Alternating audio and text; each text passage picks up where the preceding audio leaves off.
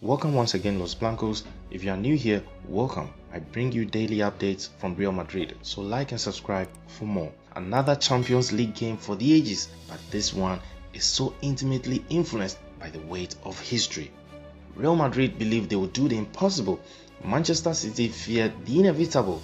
That is the only way to explain the incredible night in this competition is the only way to read yet another spectacular Madrid comeback and another cataclysmic Pep Guardiola collapse. It all built up to this astonishing tie climax, infusing it with even more emotion. The faces at the end said so much and more than the details.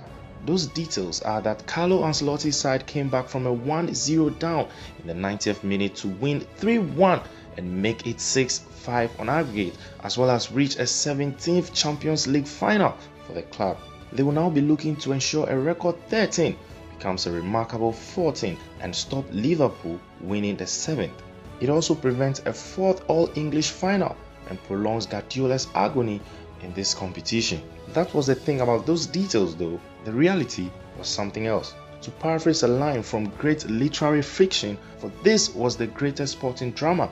All Madrid Champions League comebacks are alike, but each one is amazing in its own unique way. That's all for now, Los Blancos. Of course, we are here for the update, so kindly like and subscribe for more. Thanks for watching.